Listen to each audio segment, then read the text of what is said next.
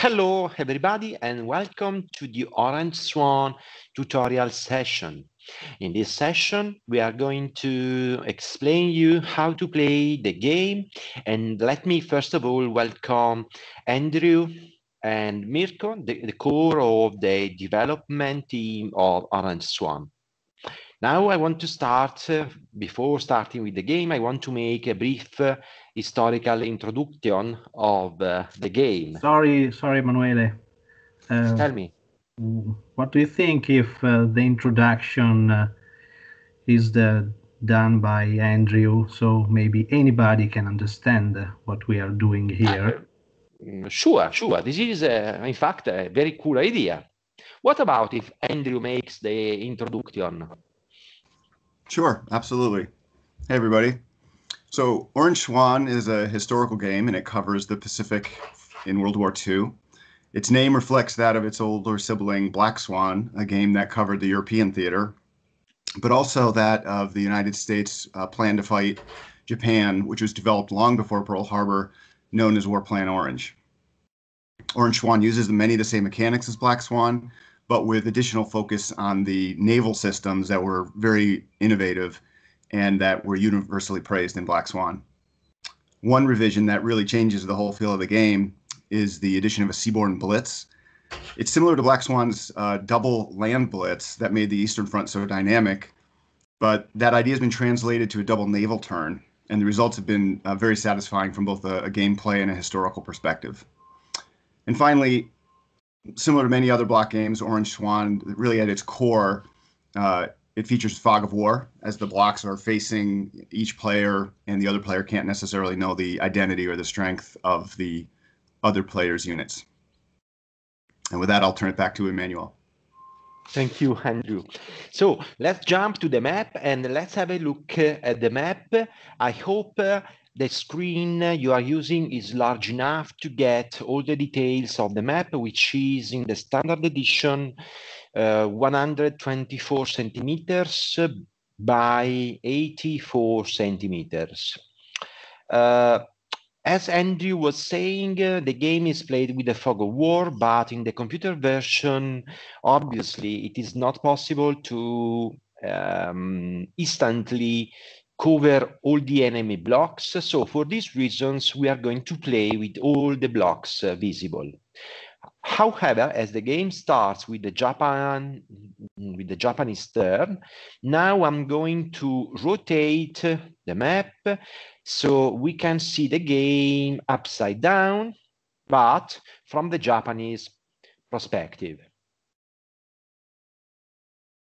It takes a while because it is, of, of course, a, large and detailed map, even if this is the low resolution uh, map.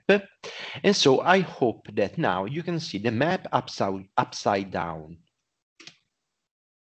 Andrew, when the game starts? The game starts in the naval combat phase. Okay, so a naval, a naval combat happens in a season where both players have units. So here, for example, however, a naval die roll engagement is needed and a result of 11 at least is needed. As in this case, we have only two naval units and no position disk. A naval combat cannot happen here while in all the other three seasons, so in the Gulf of Thailand, in the South China Sea, and of course at Pearl Harbor, a naval combat is going to happen. I, I can choose the order of the battles, but in this case, I have to resolve them all because the number of uh, naval units and opposition disks plus the search modifier and the surprise bonus already makes the result at least 11. So all these three are mandatories. Let's start with the Pearl Harbor battle, in which, as you can see, the Americans have a number of battleships two, four steps each, a light surface to step, a submarine to step, mind that they are, read, they are read face to face, while the Japanese have 11 points of carriers. Of those, four are elite and four points for dots of submarine. But the naval combat always starts with the opposition fire. So in this case, the Americans have three opposition discs and actually two for controlling Hawaii, which is a star territory, and the other one for controlling the Johnston Atoll. So before we start rolling the naval uh, with the naval units, the Americans must roll three dice with their uh, opposition discs. Opposition discs, it's at five plus, so five and six. But Japan has the surprise bonus. This is not the case, of course. Mirko is rolling the die. How many hits from the, the three opposition discs? One hit from the opposition disc. One hit. I had to take it on the strongest units in terms of dots. So there are three units which can take uh, this hit, but of course I will give this hit to the sub, sorry, to the submarine because they are the last to fire and they are also cheaper. So now that I have taken the hit to the submarine, we can go on with the naval combat. First, um, carriers. The Japanese have 11 carriers, of whom four are elite.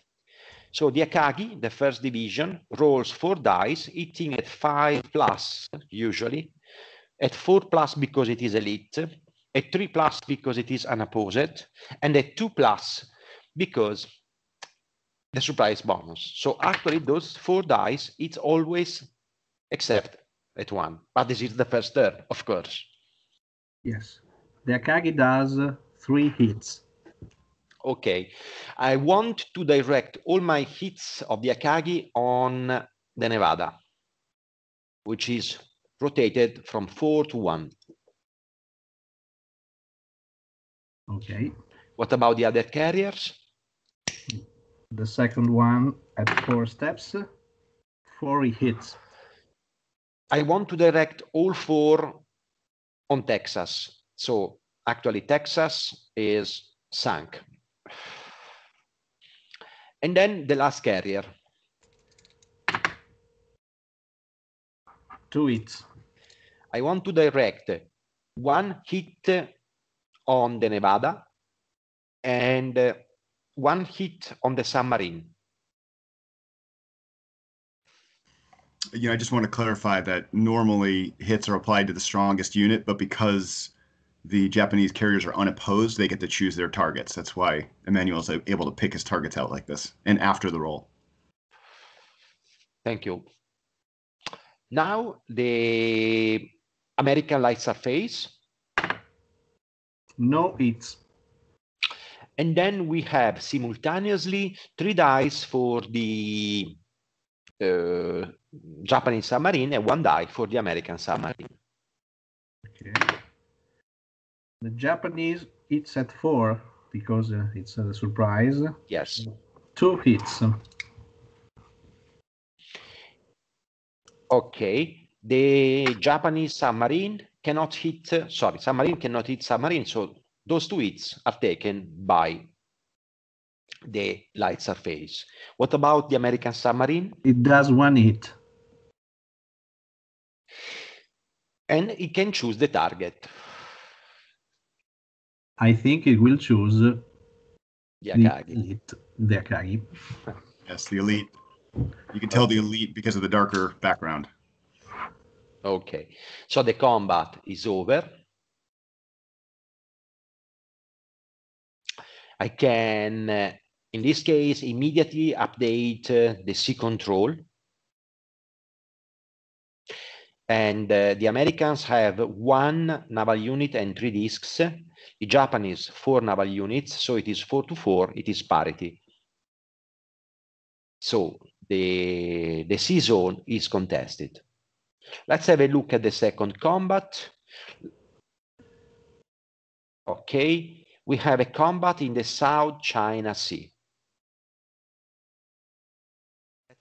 Deploy all the units uh, face to face.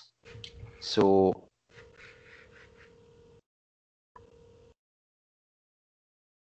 you know who is rolling first. Of course, the first to roll is always opposition fire. Mind that this is the surprise turn. So even Japanese opposition discs have a surprise bonus. So I will start with Japanese opposition disc. That's two hits. And uh, the American? Two hits as well Two hits as well. So the Japanese must take on their strongest units. So it is uh, the light surface and the heavy surface because both are, are at four. What about the Americans? One each. Because if now they take the first hit on the light surface, then the strongest unit is the submarine. So it is one each. Now I roll my two dice with the uh, Japanese carrier. Total miss. Eight at three. Yes, but uh, one and two. Perfect. Then I roll three dice with my uh, heavy surface. They hit uh, at uh, three because unopposed. Two hits. Okay, so both uh, the American uh, units are eliminated and we can put them out of the map. We immediately go to update sea control. In this case, we have three Japan units, sorry, three Japanese naval units, three Japanese opposition discs, and three American opposition discs. So it is six to three, exactly doubled. So the sea zone switches to Japan controlled. Emmanuel, maybe you can pause just on the ops discs for a second for two reasons. One is to explain how they are earned, uh, also what they represent, because it's one of the it's one of those mechanics from Black Swan that is um, that was so sort of elegant that people really liked it, and it makes this game work beautifully. Sure, I can um, um, shows why there are three, and as you can see, Hong Kong is uh, allied controlled, and it is a an harbor, it is garrisoned. So one disk is deployed on each sea zone of Hong Kong, and Hong Kong is a, a red anchor, means that it is bordering two sea zones. One is the Eastern China Sea, the other one is the Southern China Sea. Then we have Manila. Manila is uh, a victory area and it is garrisoned by the Americans. So two discs are deployed for this reason. About the Japanese, they are garrisoning a port, which is Canton. They are garrisoning Hanoi, which is a port. And they are garrisoning Hainan, which is another port. So that's the reason why there are all these discs in this area. The total number I was just gonna say, and, if if you move that large disk for a second, the sea control disk, that shows on the map all of the areas that apply influence or ops disks into the sea zone. Manila is gold because it applies two, and so it's actually very simple to to determine how many of these ops disks should be there and, and who should own them. Sure, Andrew, with your very good English, would you like to to to tell the audience what uh, do the opposition discs uh, represent? Sure. So they represent uh, land-based air power, uh, local logistics, lo logistical support for naval forces, uh, midget submarines, other small naval units that can uh, interfere or intervene with into the sea zone. Thank you. Yep. Let's have a look at the last naval combat, which is in the Gulf of Thailand. We have one disk for Saigon and two disks for Singapore, the fortress. So the Jap uh, Japan rolls one and the Allies rolls uh, roll two. But Japan it's at four. Yes. Japan miss. And the Allies one hit. Okay, I will take the hit on the submarine. Then we both have uh, heavy surface, so we roll simultaneously. The Allies roll two dice and they hit at five and six. Japan roll four dice and it's at four, five, and six because it is elite, but also at three because of the supplies bonus. Four hits. For Japan, Yeah. Okay. And for the Allies, Nothing. nothing. So uh, two hits are taken by the uh, heavy surface, which is eliminated. The other two uh, cannot be um, score. Um, I mean, uh, taken by any units because there are no other naval units here. We update naval control. We have three naval units and one disk for Japan, two disk for the Allies. So this sea zone switches to Japanese controlled as well, and we can remove the arrow. What do we have now, Andrew?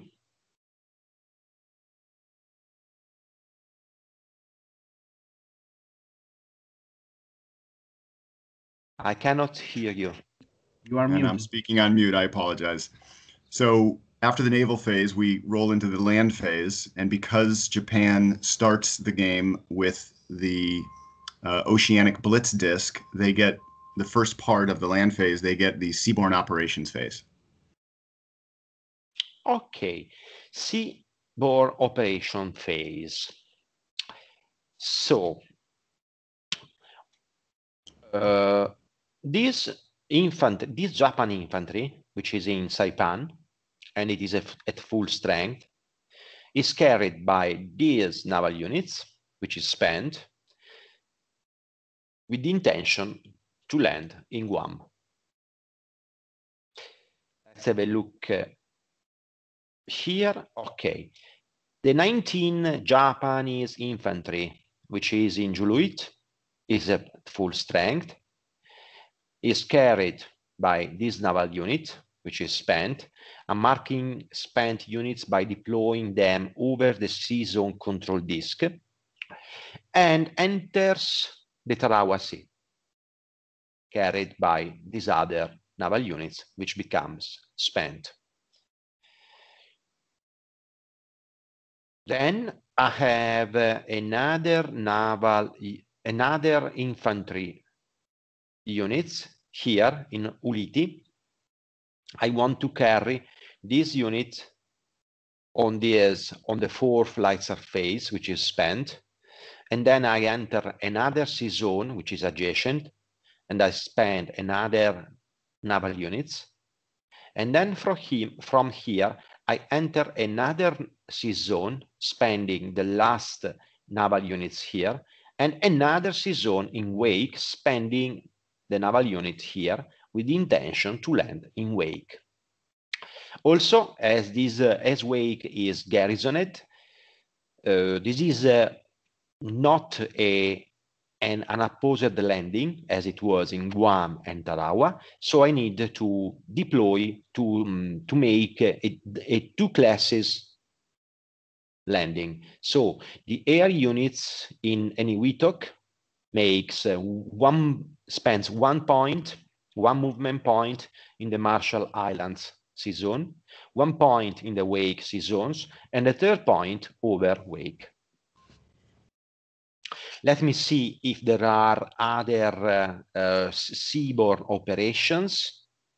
Uh, yes, I want to invade Tacloban in the Visayas Islands later.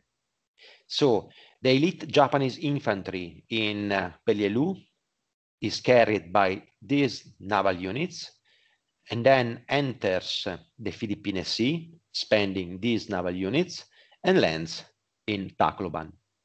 this infantry is supported by this air unit and this air unit. And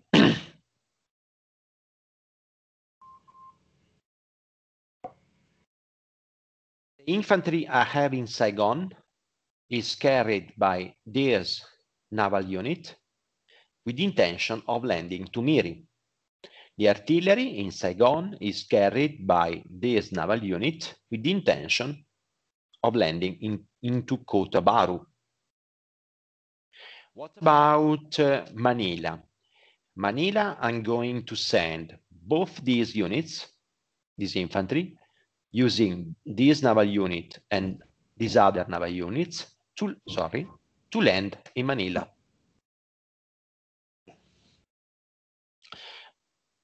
The elite Japanese naval uh, air unit in Taipei will support the Manila operation, as will do even the Saigon air unit.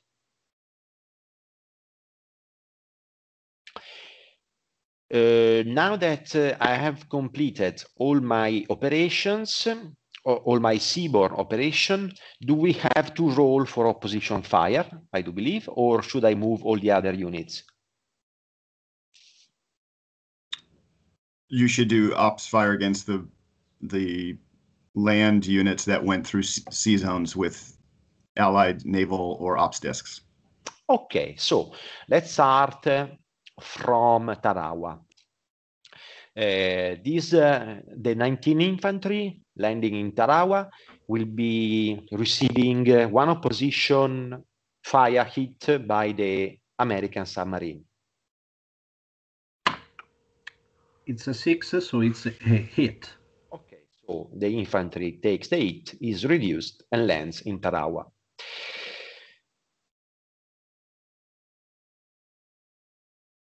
Let's have a look at what happens in, uh, in Guam. In Guam, the landing is unopposed and there is no position disk. This is something very easy for the Japanese. Let's have a look at Wake. In Wake, first of all, there is an opposition disks uh, rolling against the 21 Japanese army it's a hit. So it is reduced. And then we have uh, those two, those two units uh, ready, I mean, on the shore. Let's have a look at what happens uh, in the Visayas. In the Visayas, there are two dice rolling against the elite 12 uh, Japanese army. Nothing nothing. So the landing uh, supported by the air units is almost uh, done. Let's have a look at uh, Miri. Miri, we have the sixth army landing in Miri, hit by two opposition discs from Singapore. but here is only eight at six because it's controlled. This is on by the Japanese and it's a miss. Let's have a look uh, at the, land, the, the landing in Kotabaru by the artillery. One hit. So the artillery is reduced from three to two. Also note that because I'm getting Miri, these opposition discs will go here because now I'm garrisoning Kotabaru, and this opposition disk will go here because I'm garrisoning Miri. Also note that because of I'm getting Miri, I'm uh, going to update uh, five production points more for Japan and uh, sorry, five, and five less for the British. Let's have a look at the landing in Visayas in uh. Okay, let's make, uh, sorry, I forgot to, to make one attack is the attack in Hong Kong. Hong Kong, I'm going to attack Hong Kong with these two units. So uh, let's have a look at the combat for Hong Kong. I roll uh, first for the sorry first for the artillery. Three dice. Say one hit. One hit, which is absorbed by the rough terrain of Hong Kong. And then we roll simultaneously one die and four dice, respectively, for the Allies and the Japanese.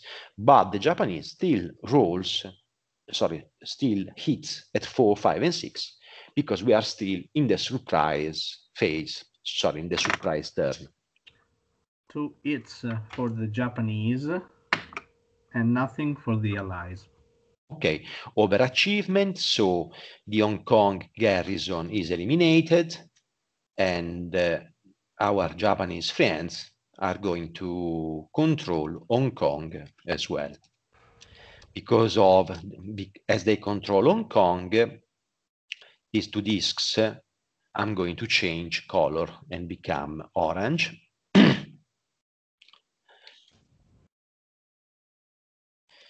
Let's have a look now at the battle for Le Visayas. Mind that this is an amphibious landing. Now I'm uh, deploying my units here and the enemy units here. Also consider that I have support fire from the full strength HS in the sea zone. So I roll one die for each full strength HS supporting the landing and I hit at 4, 5, and 6 because of the surprise bonus. It's one hit. It is one hit, and the hit is taken, is absorbed by the rough terrain. Now I roll with the uh, elite air units. In this case, the unopposed bonus cannot be applied because of the rafter rain, but the, the elite, which usually hits at 4, now it's at three, four, five, and six because of the surprise bonus. One hit.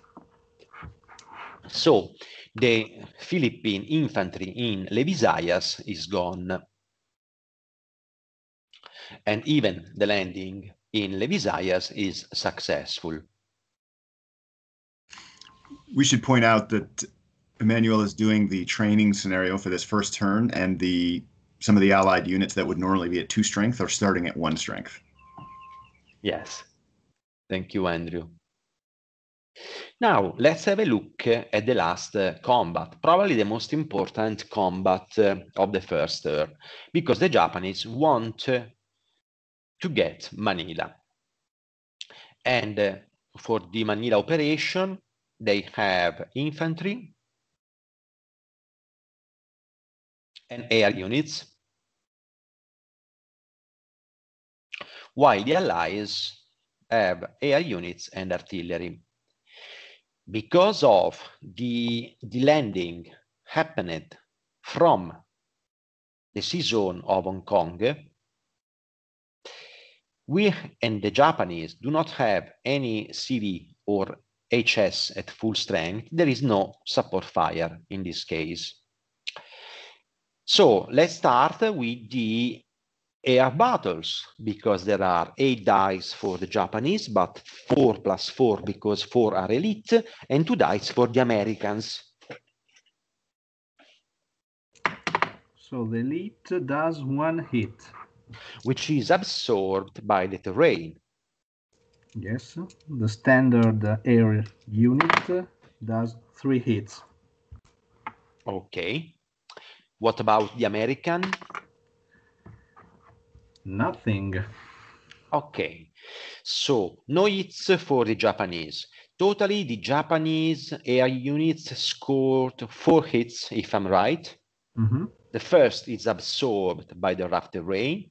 The second and the third are taken by the same class of the unit rolling, so the air unit, which is eliminated. And the last hit is taken by the strongest, in this case, the only units available, which is the artillery. Now, it is time for the American artillery, which is unopposed because the Japanese do not have an artillery. It's one hit. One hit. So I'm going to take the hit on my strongest units, of course, on the 3rd Infantry Army, because it is uh, uh, less, ex less expensive the units, and it is not elite. Mind that those two infantry units that are now landing should have been marked, but uh, I forgot it, with a light blue cube as a reminder that both these units are quartered. So in other words, they roll one die each because three is quartered to one. So I'm rolling one die with the non-elite and one die with the elite.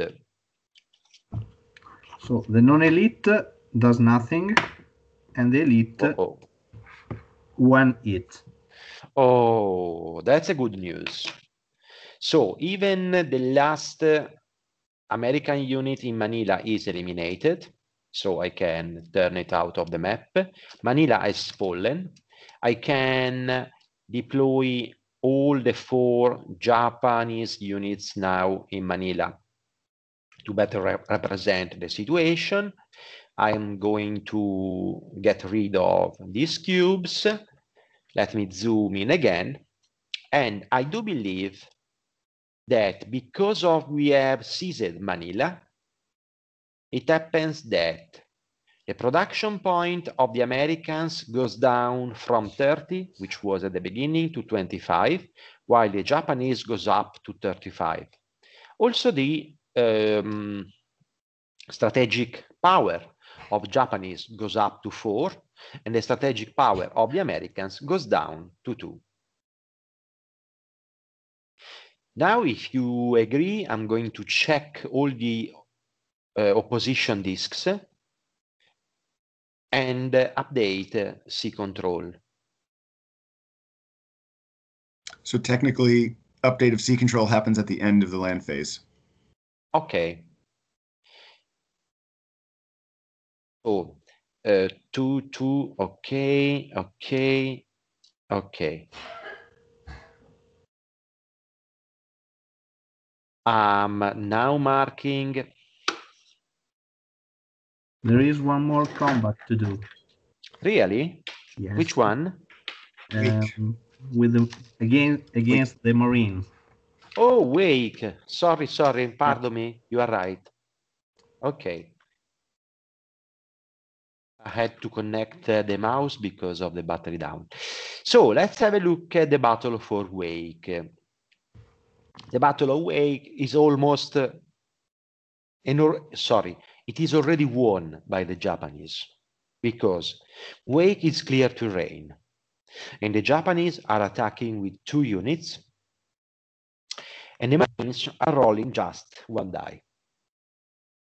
Even if uh, they would have uh, eliminated the Japanese infantry because of uh, one class, because of the highest class of the Japanese, Wake would have fallen. But let's roll the dice. What happens to the air units? Four dice, hitting at three because it is clear terrain and surprise and unopposed. It's a blast. Three hits. Okay, so Wake has fallen and we can deploy the uh, American Marines out. So these two units are now in wake. These uh, sea control disk turn yellow. Also note that sea control also switches to Japan control because uh, we have uh, two vers versus zero. Uh, now I'm going to check all the other things. As you can see, for example, here, the two disks are gone because Peleliu and Ulithi are not occupied by any unit. While, for example, Truk, which is a victory area, is occupied by one Japan infantry, and there are two disks because of the victory area. Let's have a look uh, here. We have two and one versus 1, so it is Japan controlled. Uh, these two disks are now orange because Manila is Japan controlled. So basically this uh, the, the South China Sea is a Japanese lake. And uh, uh, let me have a look at the Gulf of Thailand. We have three, four, five versus two. This one is Japan controlled as well zoom out a bit so you can have a large view of the overall situation. And I do believe that uh, the first uh, Japan turn is completed. Is that correct, Andrew? Well, you you bought the or you started the game with the Oceanic Blitz disc, so actually, sure. you can take another round, another sure. naval round. Sure. So I'm going to close this one here, so we keep it uh, short, and we will uh, see what happens in the oceanic phase.